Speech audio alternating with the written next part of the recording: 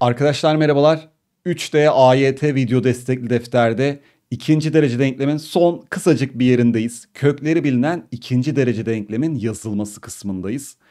Şimdi burada kökleri bilinen ikinci derece denklemi iki türlü yazabiliriz. Bir, kökler toplamının eksi b bölü a olmasından yararlanarak gerçekten x, x kare eksi kökler toplamına t diyeyim. x kare eksi tx artı kökler çarpımına da ç diyeyim. Birinci denklemimiz bu. İkinci denklemimiz de şudur. x eksi x1 çarpı x eksi x2. Bazen arkadaşlar bunu da kullanabilirsiniz tamam mı? Bu da kenarda dursun. Ee, hemen burada şunu da söylemek istiyorum. Bakın denklemle daha öncesinde de söyledim. Yine yeri gelmişken uyarayım. Denklemle polinom parabol falan aynı şeyler değil. Bakın bir parabolde niye katsayı oluyor hocam?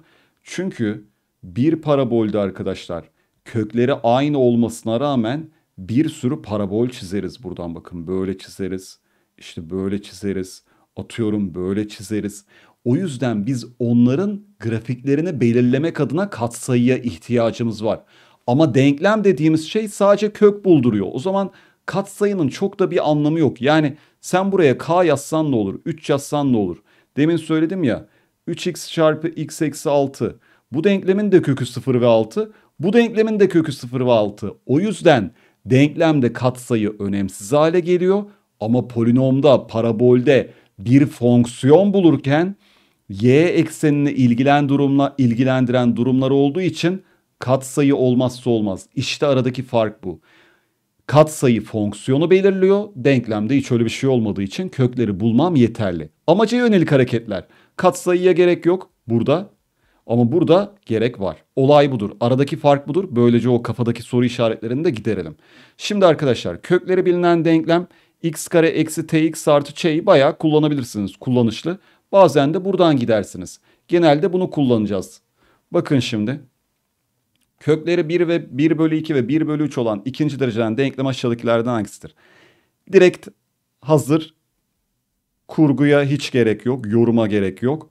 x kare eksi 1 bölü 2 artı 1 bölü 3 x artı 1 bölü 2 çarpı 1 bölü 3. Niye hocam bunun önünde eksi var derseniz kökler toplamı eksi b bölü a ya o yüzden. Normalde kökler atıyorum 5 ise x'in önündeki katsayı ne oluyor? Eksi 5 oluyor. Doğal olarak arkadaşlar x kare eksi 5 bölü 6x artı 1 bölü 6. E şıklarda yok. Çünkü arkadaşlar bu eşittir 0 ya. Dedim ya katsayının bir önemi yok. Paydaları eşitle 6x kare eksi 5x artı 1 eşittir 0. İşte cevap bu. Gerçekten bakın paydaları eşitledim. Zaten 0 çarpı 6'dan paydadaki 6'dan kurtulmuş oldum. Daha önce söylemiştim. Rasyonel bakın ona da dikkat edelim. Rasyonel söylüyorum. Ne o? Hani rasyonel dediğimiz şey içinde köklü sayı olmayan kök 2 gibi, kök 3 gibi, pi gibi atıyorum e, e gibi sayılar olmayan rasyonel bunlar da irrasyonel kök karekök 2, karekök 3, karekök 5 gibi sayılar. i şey e gibi tam net bulunamayan, pi gibi tam net bulunamayan ama yine bunlar reel sayı. Böyle olduğunda bir kökümüz a eksi kök b ise diğer kökümüz a artı kök b. Bakın şimdi e, x kare eksi 2x eksi 4 denklemi. Şimdi bu çarpanlarına ayrılmıyor. Bunun kökünü yazdığınız zaman bak ne oluyor? Eksi b artı kök delta bölü 2a. Eksi b eksi kök delta bölü 2a. Gerçekten sağdaki soldanın eşleniği işte soldakinin. Bu yüzden arkadaşlar ve burada hiçbir köklü sayı var mı yok. Kat sayılar köklü olmadığı halde böyle bir kök köklü geliyorsa diğeri otomatik eşleniği. Bakın şimdi. Ee, gerçekten şu denklemin köklerini yazayım size görün bir seferlik. 4 artı 16'dan delta ne 20. Hemen hızlıca kökleri yazıyorum. 2 eksi 2 kök 5 bölü 2. 2 artı 2 kök 5 bölü 2. Bunun kökü 1 eksi kök 5. Bunun kökü 1 artı kök 5. Bakın köklerin işaret değiştirilmiş hali kökleri birbirinin. Ee, doğal olarak gerçekten bu bunun eşleniği oldu. Ve katsayılar rasyonel yani köklü değil hem köklü değil hem nasıl köklü gelecek mecburen kökten kurtulmak için birisi diğerinin eşleniği olmalı arkadaşlar. Bunu zaten söylemiştim karmaşık sayılarda. Kat sayılar gerçek olmasına rağmen gerçek sayı aklınıza gelebilecek her reel sayı. E, köklerde, pi'lerde, i'lerde dahil. Şey i'ler diyorum hep. E'lerde dahil. E sayısı var ya şu. E, 2.78 yaklaşık. Ee, kökler karmaşık olduğu halde nasıl katsayı reel olabiliyordu? O da işte kökten e, i'den kurtulmanın yolu neydi? Eşleniğinin olması. O yüzden şu örneği vermiştim. x kare artı x artı 1'in bir kökü eksi 1 yapalım bakın bir daha. Delta eşittir eksi 3. Bu yüzden eksi 1 eksi kök 3 i bölü 2. Öbürü de eksi 1 artı kök 3 i bölü 2. Cidden birbirinin eşleniği geliyor bakın. Köklerinden biri 3 eksi kök 2 olan rasyonel katsayılı yani kökten kurtulmuş. Kökten kurtulmak demek eşleniği ama dikkat edin kökün işaretini değiştir. 3 artı kök 2 yapacağız. Köklü sayının orada kökünün köklü olan kısmının işaretini değiştiriyoruz. Doğal olarak kökler toplamı ne? Yoksa kökten kurtulamazsın ha şunu dersen. Hocam niye böyle olmuyor? Bu da eşleniği olmaz. O zaman dikkat et şöyle yaparsan kökten kurtuluyor musun? Ben zaten kökten kurtulacağım diye eşlenik alıyorum. Doğal olarak gerçekten sadece kökün işaretini değiştiriyoruz. Kökler toplamı buradan e, neymiş o zaman? 6'ymış. Kökler çarpımı a kare eksi b kareden 9 eksi 2'den 7 geldi. Formülümüz x kare eksi tx artı ç eşittir 0. x kare eksi 6x artı 7 eşittir 0 oldu. Gördüğünüz gibi D şıkkı geldi. Köklerinden biri 2 eksi i olan reel katsayılı ikinci denklem. Şimdi ikinci derece denklemin katsayıları reel olduğu halde nasıl karmaşık kökler oluyor? İşte diğer kökü 2 artı i. Eşlenikler birbirini götürüyor. Gerçekten bak x1 artı x2 4. x1 çarpı x2 neydi? Karmaşık köklerde eşleniklerin çarpımları direkt katsayıların kareler toplamı yani 4 artı 1'den 5. Bu yüzden x kare eksi 4x artı 5 eşittir 0 oldu. Yani E şıkkı. İşte olay bu arkadaşlar. x kare eksi 2x eksi 4 ikinci derece denkleminin kökleri x1 ve x2'dir. Yeni bir denklemin kökleri x1 artı x2 ve x1 çarpı x2'ymiş. Bakın yepyeni bir denklem oluşturuyoruz. x1 artı x2 ne? Eksi b bölü a'dan 2. x1 çarpı x2 ne? Eksi 4. Bu şu demek işte. Hani artık bunu karalayayım böyle. x1 artı x2 yeni köküm 2 ve yeni köküm eksi 4. Kökleri 2 ve eksi 4 olan yeni bir denklem oluşturacağım. Kökler toplamı ne yapar? x1 artı x2, şey x1 artı x2 demeyeyim. Bunlara a1 artı a2 diyeyim. Karışmasın onunla. Eksi 2. a1 çarpı a2 ne? Eksi 8. x kare artı 2x eksi 8 eşittir 0. Gördüğünüz gibi yeni bir kök elde ettik. O köklerle oluşturulan denklemimiz de bu. İkinci derece denklemin köklerinin iki katının bir fazlasını kök kabul eden denklem. Bakın şimdi x1 yeni kökümüz 2x1 artı 1 olacak diyor. x2 yeni denklemin kökü 2x2 artı 1 olacak diyor. Şimdi ben ne yapacağım? Yeni denklemin kökler toplamı x kare eksi tx artı ç ya. Yeni denklemin kökler toplamı 2 parantezinde x1 artı x2 artı 2. Yani x1 ve x2 aslında bir reel sayı değil mi? Bir sayı daha doğrusu reel sayı demeyeyim de. Bir sayı. O zaman bunları toplayınca gerçekten kökler toplamı neymiş? Bak 5. Demek ki x1 ve x2'nin toplamı 5. Onların adı x1 ve x2 toplamları 5.